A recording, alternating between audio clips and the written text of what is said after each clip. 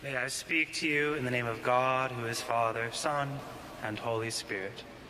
Amen. Please be seated.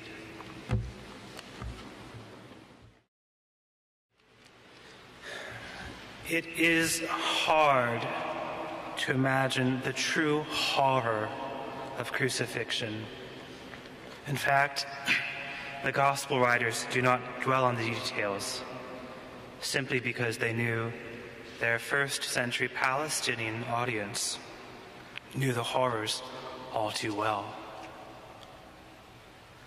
I cannot imagine the trauma, the utter devastation wrought upon those disciples who witnessed the entire ordeal Mary Magdalene, John, the beloved disciple, and Mary, his own mother. Mary endured what no mother should ever have to endure, watching her son tortured to death.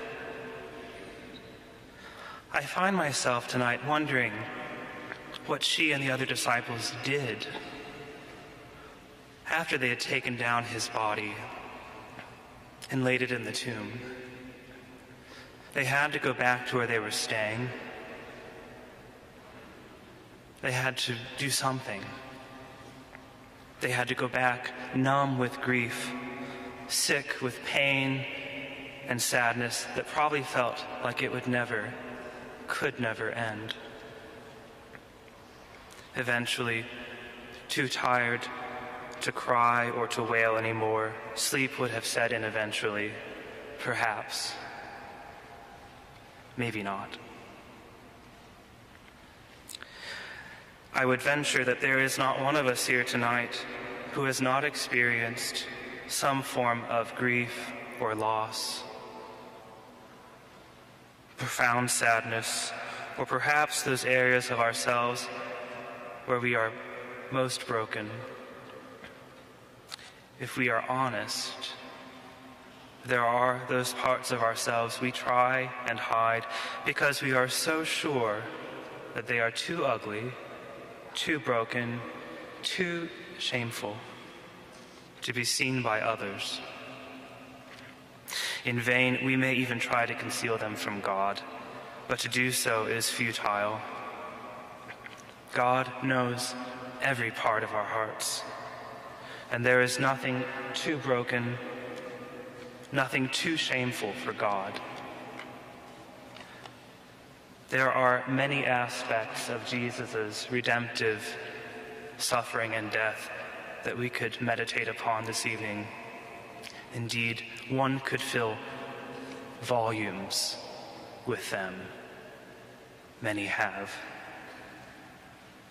But what I want to say to you tonight is this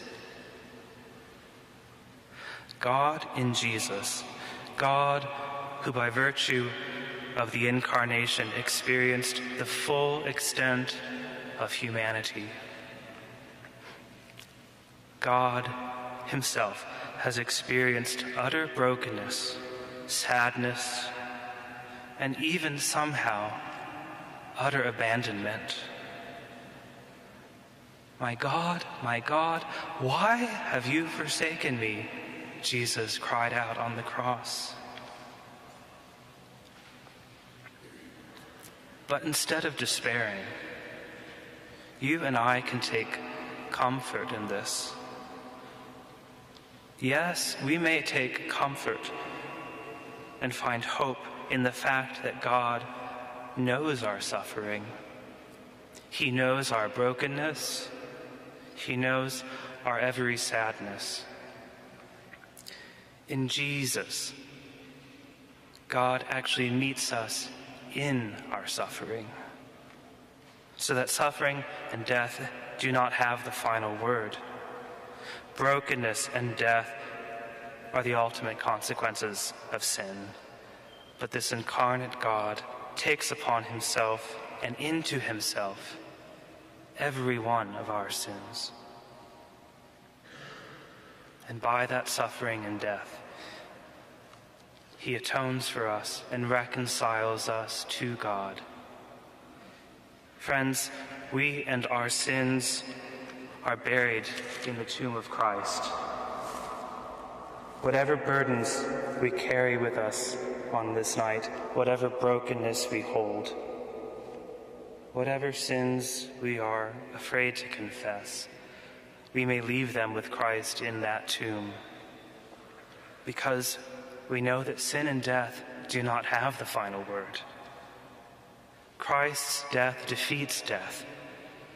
All the effects of human sin that Christ takes into his body, he takes to the gates of hell and he prevails. Our suffering and loss are redeemed, sin and death are put to flight. He conquers them and opens for us the gates of eternal life, so that you and I, all of us, may share with him in new and resurrected life.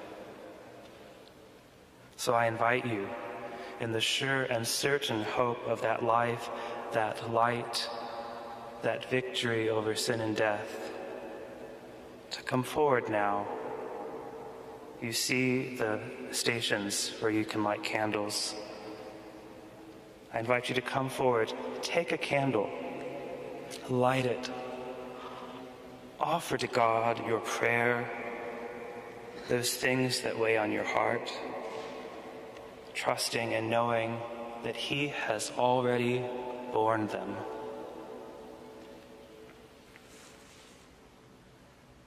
Leave them in this tomb. Leave them with Christ in that tomb, knowing that night heralds the dawn,